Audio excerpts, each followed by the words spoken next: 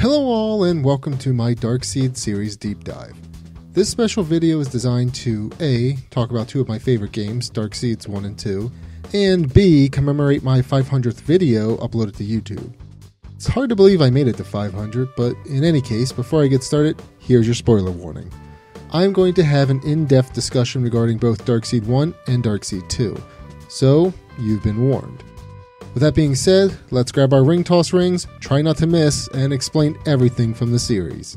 Here, Mike. This will explain everything.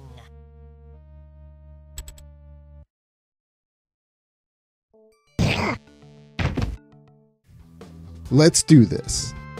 Now, the goal of this video is to determine if there is enough evidence to show if the Dark World from both Darkseed games is real or if everything is just in Mike's head. I've always assumed that the Dark World was real in the first game, but not in the sequel, mostly due to the ending of Darkseed 2. As I mentioned in my review of Darkseed 2, the story is told by an unreliable narrator. I feel like this is especially true in Darkseed 2, but it's more subtle in Darkseed 1. Although, having replayed Darkseed 1 recently, I'm starting to suspect that the Dark World is not real in that game either. Either way, you can't really trust what Mike is seeing or saying, as none of it is truly accurate. You do get glimpses of the truth, though, by way of messages from the Keeper of the Skulls in Darkseed 1 and hypnosis sessions in Darkseed 2. The writer of Darkseed 2, Raymond Benson, is on record with saying that the ending of that game is left intentionally ambiguous. The Raymond Benson article is linked in the description if you're interested in taking a look. So, video over, right? It may or may not all be in Mikey Boy's head. Well, I want to take it a step further to look at the hints throughout both games to see if there's anything to support that the Dark World is a figment of Mike's imagination. I'm going to tackle this in the following ways. First off, I'm going to discuss the events in Darkseed 1. Then I'll look at specific dialogue and exchanges between characters. And finally, I'll break down my interpretation of those exchanges. And then I'll repeat those steps for Darkseed 2. Before I begin, I'd like to state my hypothesis. The Dark World is entirely in Mike's head. I also believe that whenever Mike is in the Dark World that he's actually interacting with people in the Light World. With that being said, let's take a look at Darkseed 1.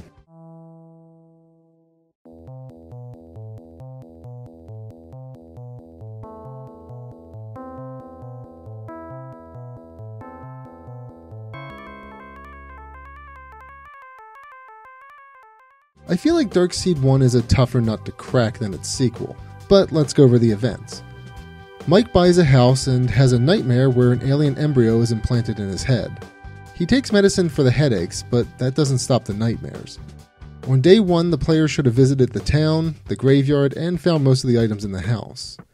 On day 2, Mike visits the Dark World for the first time, gets arrested for grave robbing, steals a cop's gun, and meets the Keeper of the Scrolls. On day 3, Mike investigates the Dark World more, creates a magic hammer, sends the ancient spaceship away, avoids getting arrested, and gets life saving medicine from the librarian. That's about it in a nutshell. I picked a few plot points to discuss in the Darkseed 1 section. Again, my main hypothesis is that the Dark World doesn't exist at all, and everything that happens in the Dark World actually happens in the Light World. So, with that being said, let's take a look at the events day by day. I'm just beginning to understand. Day 1 doesn't seem to offer a lot of clues. Unless you take into account desecrating a mausoleum, Mike just seems like a normalish guy exploring a new town. The player can find book entries that describe strange happenings that seem like they're related to what's happening to Mike. But we're not entirely sure if they're really diary entries, like Mike says, or a page from a work of fiction. Day 2 is where more interesting things happen. Mike explores the Dark World house and finds random items littered throughout. Human items, mind you. This is actually an important note for later when I discuss Darkseed 2. Mike is also warned that the police station is heavily tied to the Dark World, and this leads Mike to believe that the cops are being controlled by the Ancients.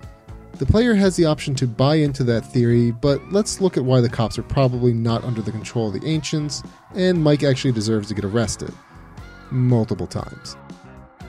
For one, Mike digs up someone's grave and is arrested because of it, which makes sense.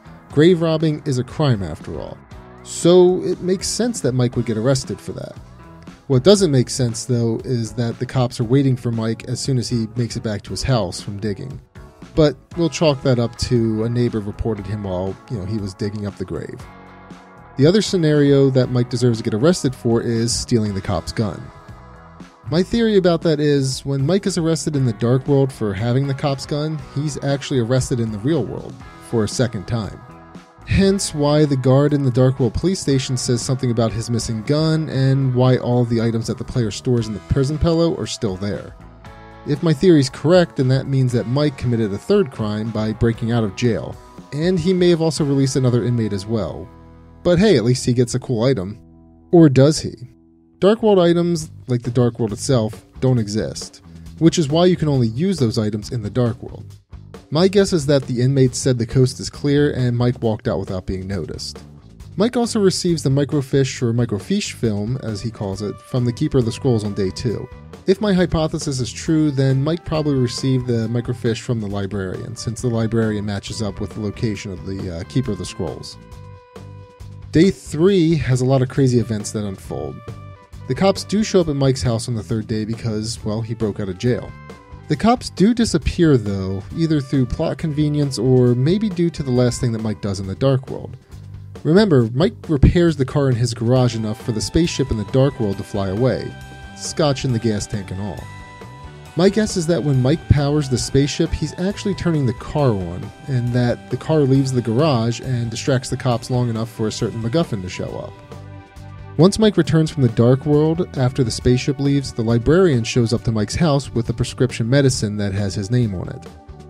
This also implies that everything that occurs is due to Mike being off his meds. The things transforming in front of his eyes is another indication of this.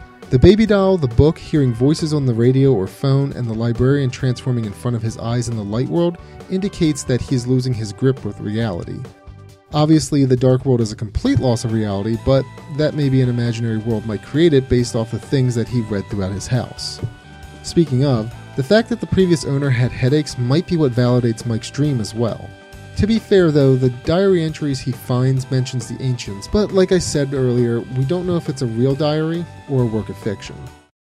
The battery still works. Given the hints I mentioned above, I believe that the Dark World in Dark Seed 1 is in Mike's head let's do a quick recap. The cops aren't under the controls of the Ancients. They want to arrest Dawson because of the various illegal activities that Mike performs throughout the game. The medicine Mike takes every day for his headache is aspirin, but it isn't until the librarian gives him his prescription that he's cured. Granted, the librarian says it's to cure severe headaches, though, but I honestly believe this is intentionally misleading, as it's more than likely to cure the visions he's been seeing. Lastly, I believe that Mike creates the entire situation around him from what he reads from the diary entries he finds throughout his house. Mike also only performs tasks after reading about them. I get that that's a game design choice, but given all the books he reads ties to the game in some way, I'm choosing to believe that Mike is creating this fictitious world as we play the game. Granted, he has headaches before the game starts, but again, this is attributed to him coming off his medication. He clearly went to the library prior to the beginning of the game, given the librarian has his prescription. Mike only goes into the Tuttle Mausoleum because he read a book about a Tuttle swallowing a key. He also hallucinates about tuning into a radio station and then hallucinates further when he's in the car in his garage. The things that happen in the game are driven by Mike's delusions and the things that he reads. The biggest thing that leads me to believe that the Dark World is not real is the line that the Keeper of the Scrolls says if you answer the phone on the third day. Remember, anything seen in the mirror is not real. Only the mirror itself is real. Things in the mirror are not real, only the mirror itself. I'm obviously taking this very literally. It really drives the fact that everything that happens in the dark world happens in the light world. You can even see this in the intro scene for day 2. It shows Mike looking into the mirror and visualizing a dark world version of himself. That says to me that when Mike enters the dark world, his dark world counterpart enters the light world. But given that his dark world counterpart isn't really mentioned, in this game anyway, it's kinda hard to say. Again, it's more subtle than Darkseed 2, but again, given what the Keeper of the Scroll says, Nothing in the mirror is real. Mike only imagines it.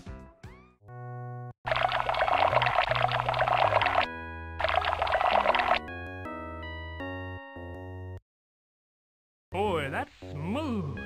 Thanks for coming by, Mike. That's all I can think of about Dark Seed. I think it does such a great job presenting the story that the player really does have to think about whether or not the strange things are happening or if they're in Mike's head. I now believe that the Dark World doesn't exist, but it did take multiple playthroughs and reading between the lines in order to come to that conclusion. Although it is pretty damning when the game outright says that nothing Mike sees in the Dark World is real. All that said, that's my take on Darkseed 1. Feel free to let me know what you think and if you agree or disagree in the comments below. That being said, let's start on Darkseed 2.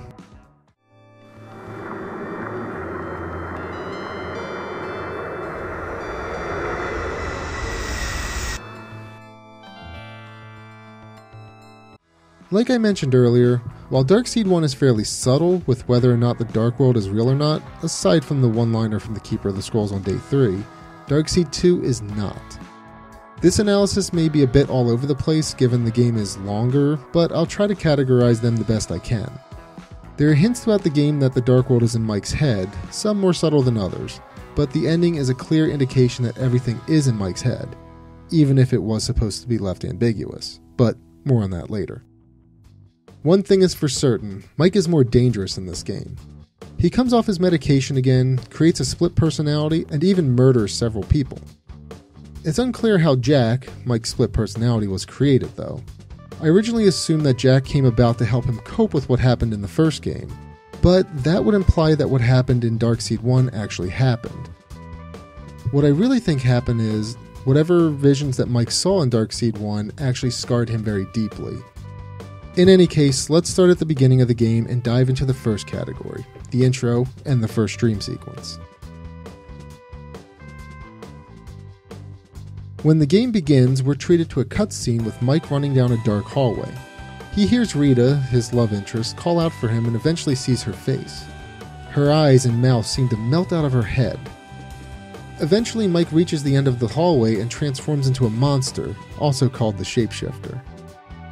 When Mike wakes up, you can actually see the world outside of Mike's window change from the dark world to the light world. While it may be a nod to the fact that Mike was dreaming about the Dark World, I believe it points to the fact that he actually believed he was there. In addition to that, I believe that every time Mike enters the Dark World that he actually switches personalities to Jack. So what that means is while Mike wanders around in the Dark World, that Jack is actually doing things in the Light World. After Mike wakes up from his nightmare, he is questioned by Sheriff Butler about the events of the night of Rita's murder. This is where we get our first glimpse of an unreliable narrator in Darkseed 2. Mike says he doesn't remember being with Rita at the banquet, but we know from Dr. Sim's hypnosis session later on that that isn't true. Mike was, in fact, the last person to see Rita alive, except for the killer. The last scene of the first hypnosis dream sequence is Rita alone in the Dark World equivalent of the park. How would Mike know she was there unless he was too? Hank also corroborated that Mike was with Rita on the night of the murder. So that means that Mike either A, lies to the sheriff, which actually does seem to happen a lot, B, has a selective memory, or C, repressed the memories of what happened. Ah! The first dream sequence leads me to my next topic glimpses of the truth.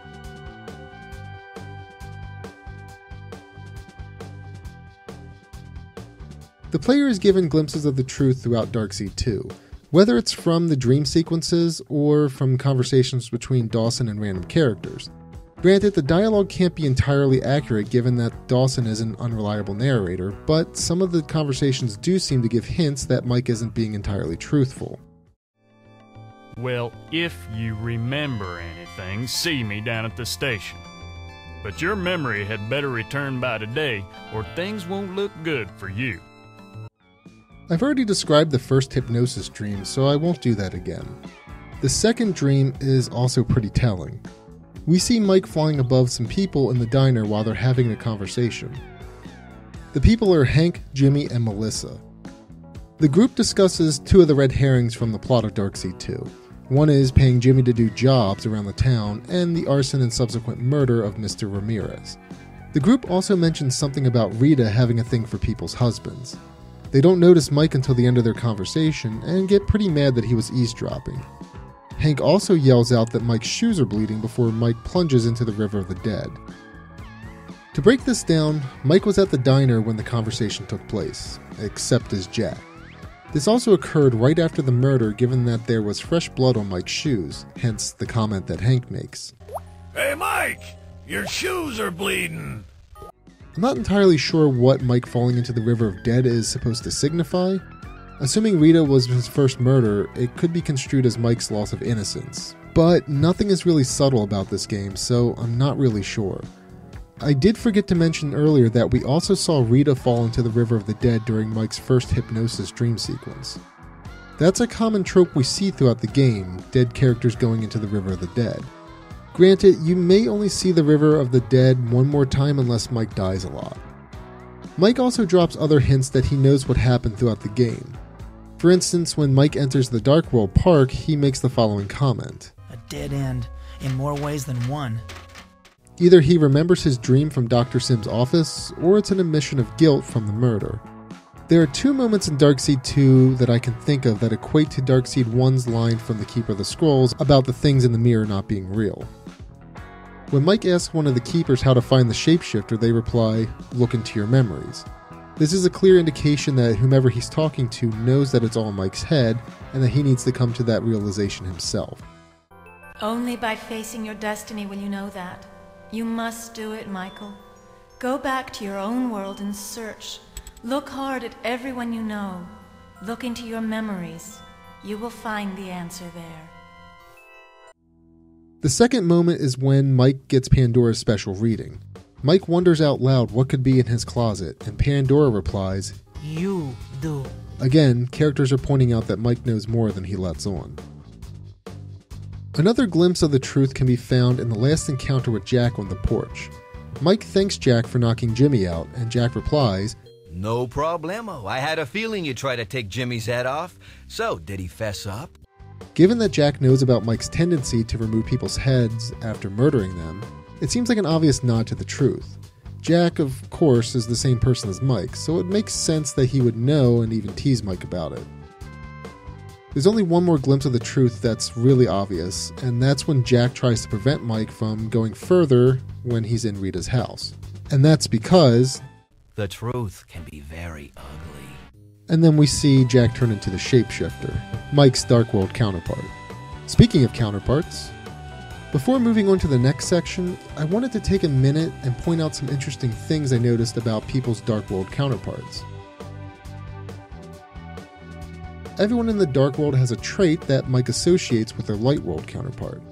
That is, the Dark World reflects Mike's opinion of everyone he talks to in the Light World. For instance, Ick and Ook like to ask riddles, just like Minnie and Daisy. I'm not sure why Mike would use the verb molest instead of bother when talking about them, but that's another story, and actually totally unrelated to anything. But how could I not mention that ridiculous piece of dialogue? I don't think Ick and Uck are going to molest me anymore. The next is the giant baby outside of the Keeper of the Scrolls. The giant baby outside of the Keeper of the Scrolls area is a nod to how Mike perceives Gargan and the way he acts. That is, a big baby. The Keeper of the Scrolls matches up with Pandora in this game.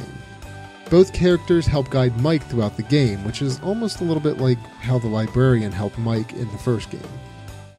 It's her, the Keeper of the Scrolls. I feel like I should bow, but I'm too embarrassed. The biomechanoid outside of the High Priestess's house prevents Mike from entering, just like the deputy in the Light World. Rita's equivalent in the Dark World is the High Priestess. This is obviously because Mike holds her in such a high regard. Mayor Fleming's Dark World counterpart, the Judge, looks like he's wearing a dunce cap. I feel like Mike doesn't like the mayor very much. He also describes the Judge as looking like a clown. The Judge also disappears after Mayor Fleming is killed. The gun shop owner is bland and boring, just like Paul Cooper is. There really isn't many similarities between the Dark World diner guy and Hank that I noticed. Both talk to Mike at length, but they just seem like they're there for exposition. Jimmy and Melissa are shown as junkies in the Dark World. Goth has an exoskeleton for protection, just like Slim has his protective vest. There's no equivalent to Dr. Sims that I can recall, but the Dark World Therapist Office is an area that implants alien embryos into people, just like the Day 1 intro scene from Darkseed 1. So you can get an idea about what Mike thinks about Dr. Sims and his advice to him. Dark World Doc Larson, that's a tongue twister if I've ever heard one, is just as depraved as the Light World version. And as far as I know, there are no equivalent counterparts to Mike's mom, Sheriff Butler, the Clown, Mrs. Ramirez, and the Carnival Barkers. And no, I'm not including the Dark World moms whose head explodes as the Dark World equivalent to Mike's mom. anyway, back to the main topic. So, if hypnosis and other people are telling Mike it's all in his head, then why doesn't he believe any of it? Well, Mike receives a lot of negative reinforcement throughout the game. One might even say, Dark World reinforcement. So Mike really wants to believe in the Dark World. It validates all the things he sees since he's not taking his medication. Mike mentions it to anyone who's willing to listen and not call him out for it. Everyone else, though, eh, tends to get pretty aggravated with how he's acting. That being said, let's discuss some instances where Mike's delusions are reinforced. One of the first instances of reinforcement comes from Mrs. Ramirez. Mrs. Ramirez reinforces the idea of dark forces in the town, especially as it pertains to her late husband. Mike, of course, initially thinks that her dark forces are tied to the dark world, even though he knows deep down that Jimmy caused the fire that killed her husband, you know, since he was listening in on the conversation at the diner. Slim is another character that reinforces the Dark World for Mike. In fact, Slim actually foreshadows the entire plot of Darkseed 2. He says evil is hatching, which correlates to the incubating behemoth. The behemoth is supposed to take over the world and spread darkness, which is also what Mike hears later on from the Keepers. I mentioned it earlier, but I'll bring it up again. I believe that events that happen in the Dark World may in fact be based on things that people say to Mike at the beginning of the game. I mentioned earlier about the diary entries in Darkseed 1, in this case, it's the characters talking to Mike. For instance, Goth's exoskeleton or protective armor is due to Slim mentioning his armor, and that Rita's book club may actually be a satanic cult. Mike continues to go to Slim because Slim buys into Mike's delusions. Slim reinforces that Rita was killed by other forces, such as Darkworlders. Mike immediately leaves or ends the conversation as soon as Slim begins to change the narrative to someone else killed Rita. Minnie and Daisy seem to have their own issues, but Mike associates their issues with his own. In fact, I'd say that's why Mike finds a portal to the Dark World in the Mirror Maze. Minnie or Daisy, and I apologize, I don't remember which one, explicitly says that the Mirror Maze was built as a tribute to the voices that the other hears in her head. Mike honestly just assumes that they're Dark World voices. In addition to the other carnival attractions, Mike also seems to believe Pandora whenever it relates to the Dark World nonsense as well. What a bunch of hogwash. I'm leaving. Mike also seems to be cognizant enough to know when to not pull the Dark World card with strangers. All in all, Mike looks for reinforcement of his beliefs in any way he can find it, even from complete strangers. Okay, so that section may have been a bit off topic from the original topic and hypotheses, but I just wanted to establish Mike's motivation as I saw it. Let's get back to the hint and take a look at the third dream. Oh boy. Oh boy, there's a lot to unpack from this third therapy session and dream. Dr. Sims seems more antagonistic towards Mike during this session. I can kind of understand why, given that Mike hasn't really taken any of his therapy sessions seriously and has ignored most of what Dr. Sims said. Mike even stopped taking the medication that Dr. Sims prescribed to him, claiming that they may be placebos. I believe that Mike says that these pills are for headaches as well, but it's probably the same or similar medication from the first game. All that being said, Dr. Sims being antagonistic towards Mike is certainly unprofessional. But enough about the boring part, let's jump into the craziest dream in the game and see what's behind. Hologram number one. Now, this dream is more akin to a fever dream, but it does shed some light on Mike's feelings. Deep down, Mike knows he's really jealous of everyone's relationship with Rita. Wait, should I rephrase that? No, no, I don't think so. The third dream also reinforces Mike killing Rita with his mother's steak knife by showing that ridiculous graphic of the knives going through her head. I'm not entirely sure why Mike dreams about Paul, though. It's not like Mike knew about Paul's relationship with Rita prior to that session, uh, that we know of anyway. Plus, with the way the game is presented after the third hypnosis session, we can't be sure that any of that information is true. If Mike killing Paul is real, then it seems like Mike is targeting everyone in the town that thinks he had something to do with the murder. Although, come to think of it, I'm pretty sure Sheriff Butler does mention Paul Cooper explicitly, so yeah, I guess Mike is just targeting everyone in the town that suspects Mike is the murderer. After the hypnosis, Dr. Sims couldn't, or wouldn't, tell us what happened in the third dream. But it's such a fever dream that I honestly don't blame him. However, like I kind of alluded to earlier with what's presented to us in the game, the third dream sequence technically ends at the end of the game. So it was more than likely intentionally left vague. Whether the third hypnosis ends when the game says it ends or goes on until Mike wakes up at the end of the game, the Jack personality was probably talking to Dr. Sims. And like I mentioned earlier when I started the Dark Seed 2 portion of this video, I'm basing this on the fact that I believe every time Mike sleeps or goes to the Dark World, that Jack becomes the dominant personality.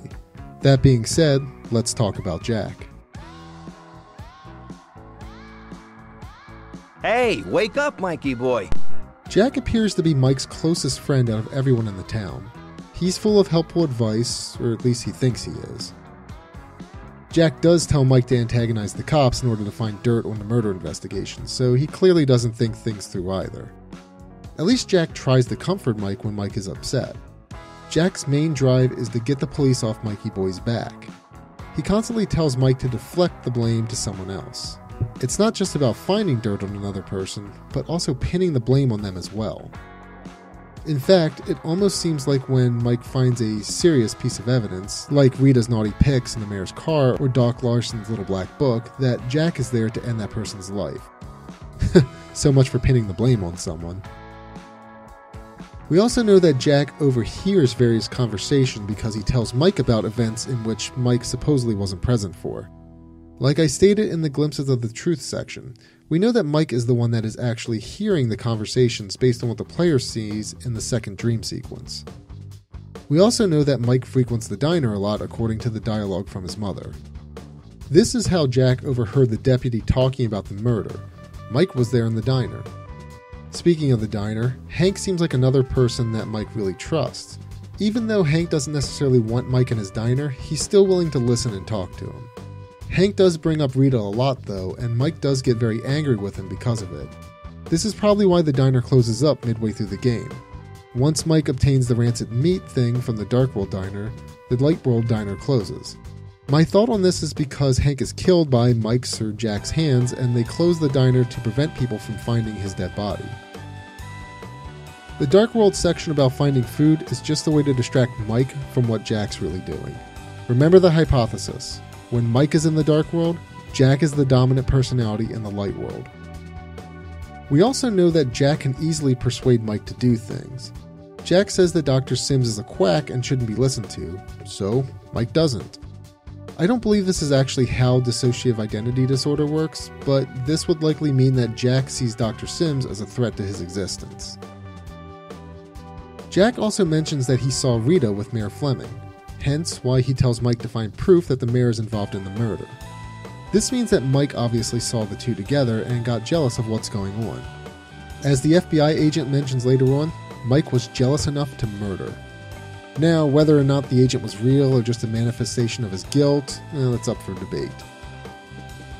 Another interesting tidbit about Jack is that he only appears in four spots throughout the game. His primary spot for appearing is at Mike's house. I believe this occurs because Mike is alone and feels safe. No one can see him talking to himself there since his mom is in the kitchen. The second spot is when Jack pops in to punch Jimmy. We know this doesn't really occur since Slim says that Mike punched Jimmy. Mike quote unquote becomes Jack to help him compensate for what Mike can't do. We see Mike get knocked down, and this is the catalyst for becoming Jack. The third scene is when Jack appears in the mirror at Rita's house. But that may be part of a dream, so I don't know if I really want to count that in the grand scheme of things. It seems like reality is slightly bursting in on Mike's dream as he gets closer to the truth.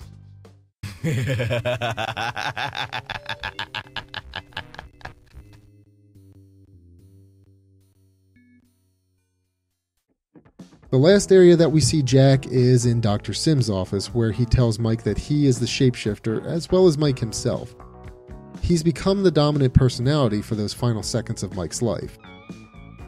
Jack is an interesting character in the grand scheme of things. Jack's basically the polar opposite of Mike, which makes sense given that Mike subconsciously created him to compensate for what Mike himself lacked.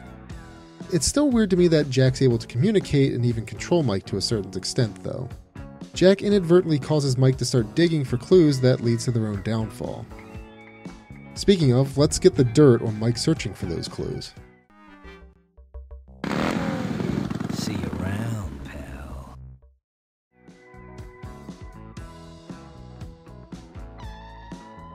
Jack wants Mike to deflect from his current situation. He wants Mike to prove that someone else killed Rita by collecting evidence. Jack says he can't do it, but Mike can. This is because Jack is talking to Mike in his head. Mike tries to use whatever dirt he knows about Doc Larson in order to gain more information about the murder investigation. I only bring this up because we learned something after the dialogue exchange between Mike and Doc Larson, specifically that the eyes and tongue were cut out of Rita's head during the murder. This ties back to the initial dream sequence where we see Rita's floating head and her eyes and tongue melt out of her head. So this reinforces that Mike has repressed the memories of what he did and only remembers them through his dreams. Mike also looks for dirt on the sheriff to get him off his back. Jimmy apparently has dirt on the sheriff, but he's not sharing it. This almost comes off innocently at first, especially on your first playthrough when you're unsure that Mike is the murderer. We know Mike really wants to know Jimmy's dirt because he's trying to get away from the sheriff. The player even sees this when Mike talks to the deputy. He tries to slow down the investigation because he feels like it's moving too quickly. Mike even eventually tries to pin the murders on Jimmy, especially after he finds out that Jimmy is the arsonist. A lot of dirt that Mike finds is in the form of an item to collect. In the next section, I want to take a look at some of the Dark World items that Mike collects. We've talked a lot about Mike and his actions and conversations with various folks, but let's take a look at some of the game mechanics that point to the Dark World not being real. This section will actually discuss items from both Darkseed games. Items from the Dark World don't affect the Light World with the exception of the Ego Massager in Darkseed 2, but more on that later. You can't even get a reading on Dark World items from Pandora. Most of the items that are found in the Dark World of Darkseed 1 are mostly items from the Light World. The only item that is a true Dark World item is the Invisibility Headband, and it's never used outside of the Dark World. Although I'm not entirely sure if you can use the headband in the Light World since you need to use it pretty quickly after receiving it, but it isn't intended to be used in the Light World. Darkseed 2 has more Dark World items in it that seemingly affect the Light World, but I'm going to try to persuade you that that isn't actually the case. First, let's talk about the biomechanical gun and Mike winning at the shooting gallery. The shooting gallery is won by Mike getting lucky and hitting all the targets. How he hits them is questionable, but it certainly isn't with a biomechanical machine gun. While the carnival barker didn't see it happen, Sheriff Butler did, and he didn't mention a machine gun. Mike just got lucky and managed to hit all the ducks. In fact, I'd even say that maybe the biomechanical machine gun gave him the confidence in order to aim the game gun accurately. Mike won the Wheel of Fortune game by cheating. He stuck a magnet to the game on a number of his choosing. Granted, he does this in the dark world, but I just assume he stuck it on the wheel in the light world while Jack became the dominant personality. The ring toss was won by pure luck. I mean, in theory, everyone will get lucky with that game eventually, unless you want to believe that Mike never wins it, which is also fine as well. Now, what doesn't make sense is magnetizing the pole so that the ring goes around it. If that were the case, the ring would just stick to the pole. Hey, you missed, pal. The only other instance where a Dark World item affects the Light World is the Ego Massager. You can probably chalk this up as a plot hole, but I think there might be another explanation. I believe that, whatever the Ego Massager really is, the Ego Massager actually makes that ridiculous noise when Gargan lifts it. Laughter is always the best medicine, so I believe Mike gets Gargan to lift this ridiculous device to make Gargan laugh and forget his worries. I mean, it's obvious the strongman can lift it if Mike can, even though Mike was implying that he could lift it and Gargan couldn't. I don't know, it's just my two cents.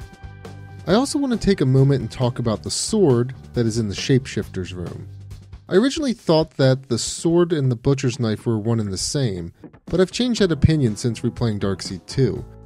I believe that the sword in the shapeshifter's room is actually one of Mike's old fencing swords. You mean you didn't know Mike was a fencer? I mean, how do you think he was able to best a behemoth? Also, if you click on Mike's things in his room, he mentions that he used to fence.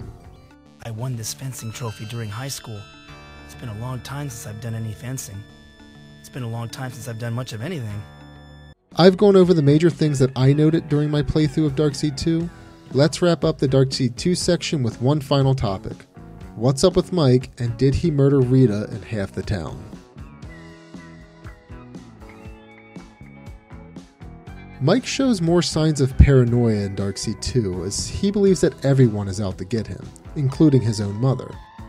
Much like his thought process from Darkseed 1, Mike believes that Sheriff Butler and the local police are under the control of the Ancients. Again, the sheriff is targeting Dawson because Mike is the number one suspect of a murder.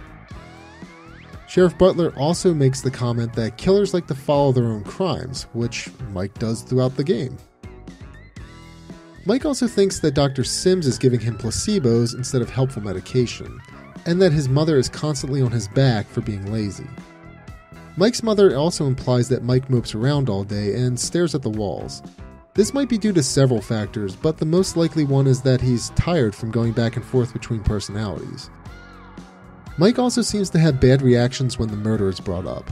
He gets angry very quickly, changes the subject to talk about something else, or disassociates from reality, like what happened when the news anchor started to speak about the murder. As soon as the anchor starts talking about it, she morphs into the Keeper of the Scrolls. He refuses to bathe in Darkseed 2, but is more than willing to walk all over town to look for evidence to exonerate him. Mike also seems really fixated on the past as well. Maybe he was scared of growing up, causing his mental breakdown and his return to his childhood town. He says a lot of odd things about his former friends too, like what happened to you to a formerly attractive classmate, or that he used to be friends with the local wise guy Jimmy. Now, this attitude doesn't mean that Mike is the killer, but just like Darkseed 1, the game flat out tells you that Mike is the killer. Jack admits to killing the townspeople and that he's also a part of Mike. You're wrong again, Mikey boy. In case you haven't figured it out, I don't exist at all. I'm you, and you are me, and we're all together. Get it? The only thing that doesn't make sense at this point is Jack calling himself the shapeshifter and mentioning the power generator. However, this is probably Mike attempting to make sense of what's happening. He likes to connect all negative events in his life to the dark world. Mike also comes off as an insanely jealous person when he realizes that so many people dated Rita. It seemed like the I can't have her so nobody can mentality. We see even further evidence of this after Mike kills Paul and reads Rita's letter to her mom. Dear Mom, not much happening lately. I went out with Mike Dawson the other night. He's a nice guy, but he has some emotional problems. In fact, he's starting to act like a sick puppy around me, and I'm afraid I'm gonna hurt him. Why, that bitch? She was never really interested in me. She was just toying with me. In a few minutes, I'm off to my reading group meeting across the street at Paul Cooper's house. Now, he's somebody I'm really attracted to. Tall, handsome, and good at fixing things around the house. I'm glad I killed that creep. Mike ends up saying that he was glad that he killed Paul. In addition, Rita's head even tells Mike that your jealousy is clouding your mind again. It will lead to your downfall after appearing out of his mom's food. Are you saying that the shapeshifter invited you to the reunion too?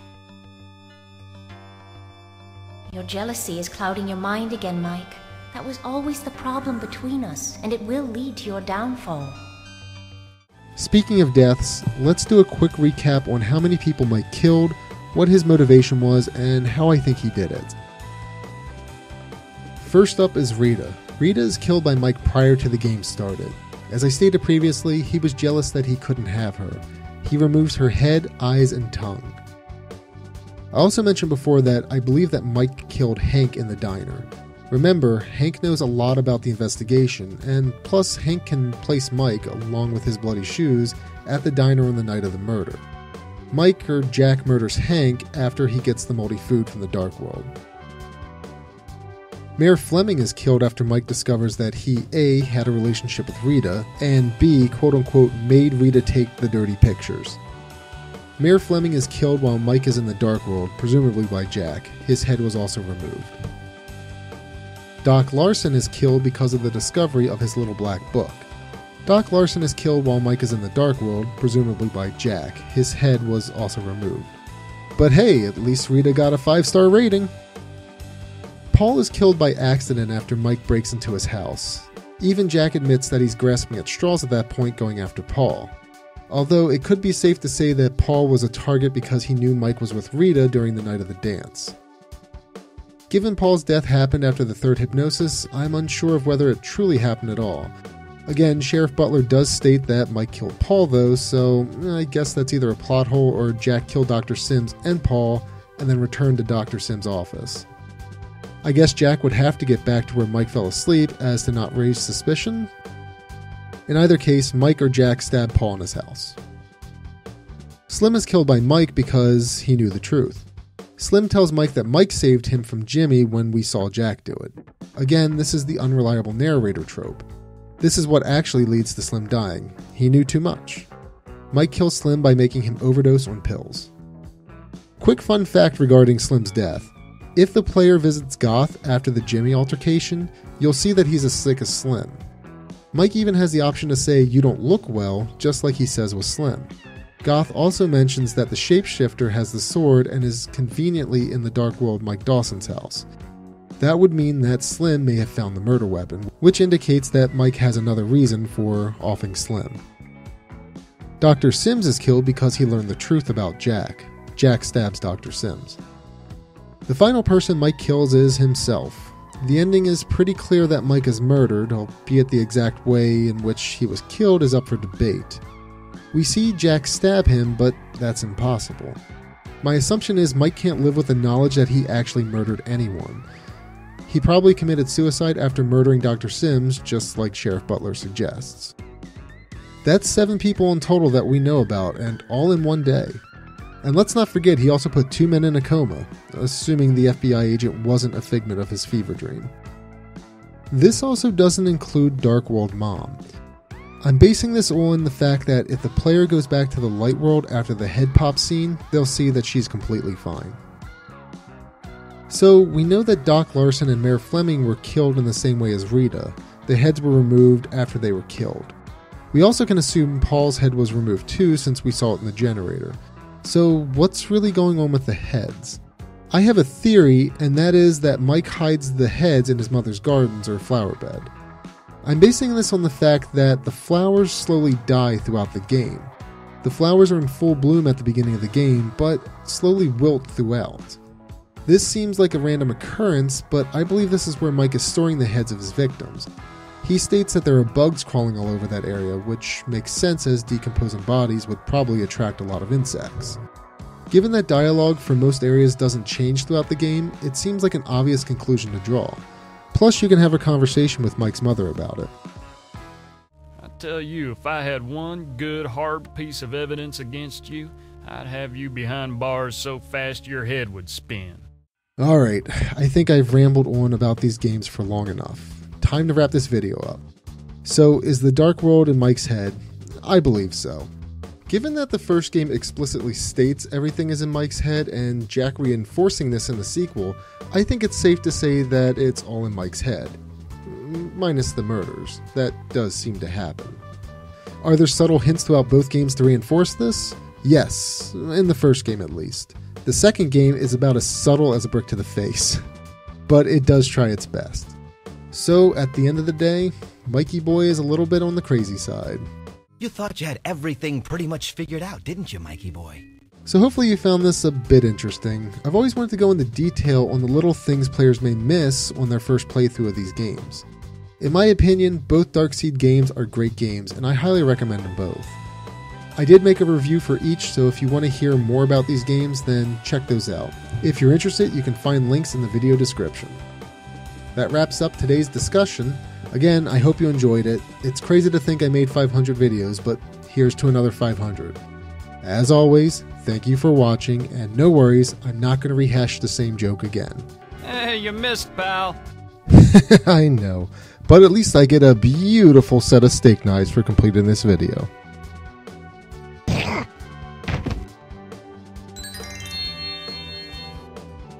Again, thank you for watching.